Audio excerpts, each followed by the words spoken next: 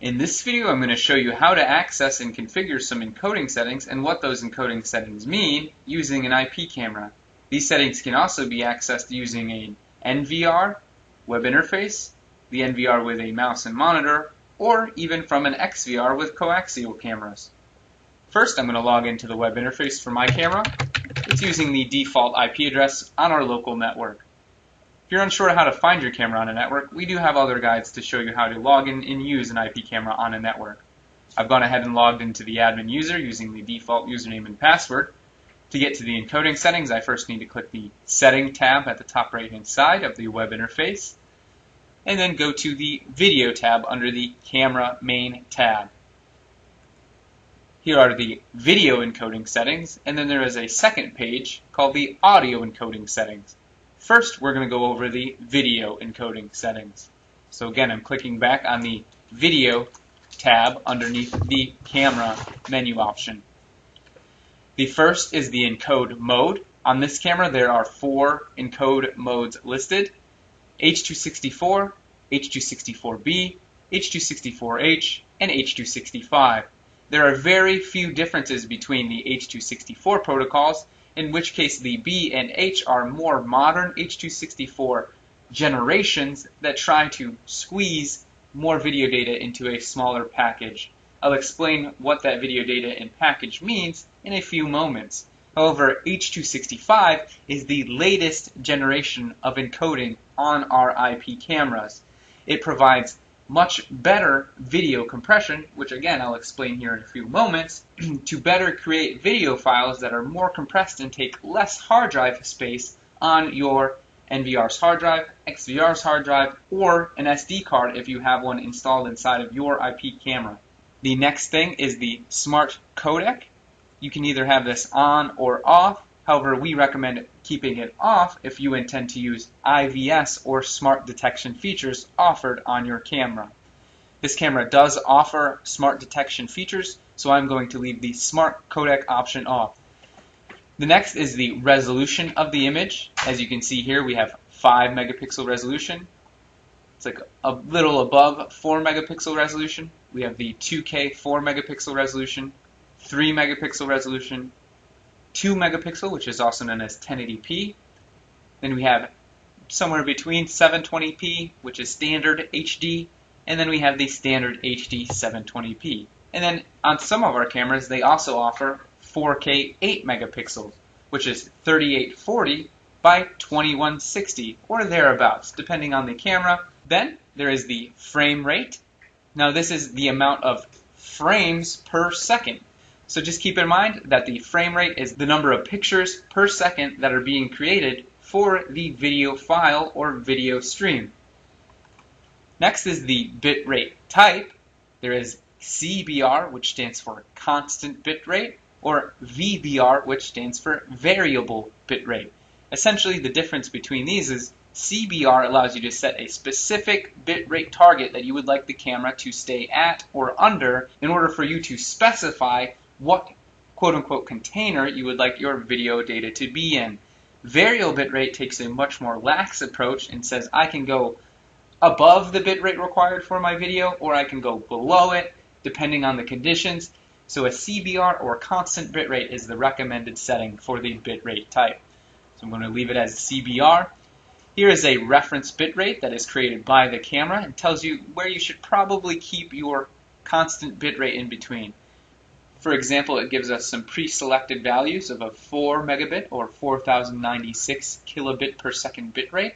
This is essentially the package that I've been talking about, which I will explain here again in just a moment.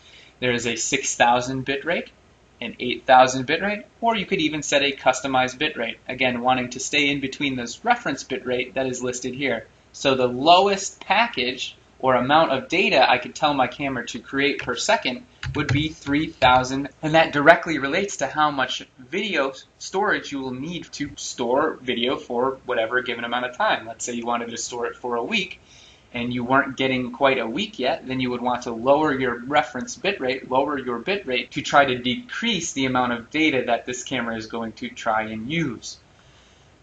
So for example, this would try to pack a 5 megapixel resolution image 30 frames per second into a small container being 3 megabytes per second.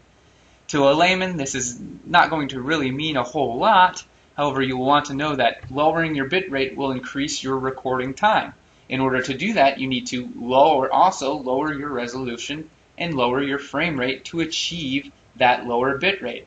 So as you can see, I'm going to go back and, and select the one of the preset options of 4 megabit per second. Let's see what happens if I lower this camera's image quality down to 1080p HD and then lower its frame rate down to 15 frames per second. We're going to see a much lower reference bit rate that the camera tells us it can use. You see it went down from a 3000 bit rate for the reference rate down to 1000. And then for the customized bit rate, it went from a 4000 bit rate down to around a 2500 bit rate. You can see the other bit rates listed here that it would suggest us use. Again, 1024, ranging all the way up to 6000.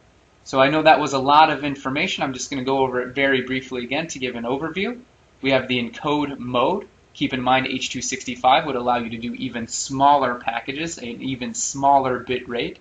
However, for this example, I'm going to leave it on H.264. Smart codec, again, will try to help assist with that bitrate, but we'll leave it disabled because we want to use our IVS, our smart detection rules. The resolution is going to be the size or quality of the image. Again, this camera has resolutions ranging from 5 megapixel all the way down to the old standard HD 720p. And I set it to 1080p for our example of a lower quality image. Frame rate is the number of pictures in per second in your video. This is going to affect how smooth your video is. Bitrate type, again, we suggested you use a constant bitrate. The reference bitrate is created by the camera to tell you a guideline of what bitrates you should use for the camera. The bitrate selection, again, should give you some suggestions, again, to which bitrates you can use. The lower the number, the more video data you can store on your hard drive. At the bottom below our bitrate we have the iframe interval or keyframe interval if you are familiar with encoding. This is a more advanced setting. This particular camera has an iframe interval ranging from 15 to 150. Now there is a mainstream and substream. Essentially the mainstream is the large resolution that is used when you record the camera to your NVR, to the SD card, if you're streaming it over the web with a web browser using the PC software. And then last but not least, there is the substream. The substream is primarily used for remote viewing using the cell phone app. Or it's also can also be used in various different recording methods where you record the substream continuously while you only record the mainstream on motion or with your smart detection rules etc. So mainly the substream is one of those more advanced things, again, mainly used for remote viewing over the internet, or if you want to use an advanced recording schedule. Hopefully that gave you a good, decent overview of the video encoding settings. Now I'm going to move on to the audio encoding settings, and they're a little more simpler. Again, if you're not familiar with audio tech, then the sampling frequency, you can play around with it. It's not going to mean a whole lot to you, but you will usually get higher quality audio with a higher sampling frequency. So again, we have the mainstream and substream audio streams. This does correlate to the video stream. For example, you can either disable or enable the audio stream as it's overlaid on top of your mainstream video stream. So if I wanted to record audio while I'm recording my camera, I'm going to of course want to leave this setting enabled and then I can also enable it on my substream if I wanted my substream to record audio as well. The encode mode, there are up to six different encode protocols on this particular camera. The one that we've had the most luck with in our testing is AAC. Like I mentioned before, the sampling frequency, if you're not an audio technician, it's not going to mean a whole lot to you. Either a 48,000 or 64,000 sampling frequency is going to give you the best audio quality. If you are an audio technician, then you will know what sampling frequency will work better for your scenario. Like I mentioned, 48,000 or 64,000 we've had the best luck with. I'm going to set this one to a 48,000 sampling frequency. Substream, again, we can choose our encode mode, AAC, 48,000. It's going to give us some of the best quality. You can also do 64,000 if that works for you. Down at the bottom, we have the audio in type. This is going to be the microphone that the camera uses. For example, this camera has a line in, which is your external microphone input, or the built-in microphone. Again, line in stands for the microphone input on the pigtail of your camera, or the mic is actually the built-in audio microphone for the camera. There is a noise filter option. You can either enable or disable the noise filter. Again, this is going to be a trial and error setting. There's no one guaranteed setting that's better for what you're trying to capture.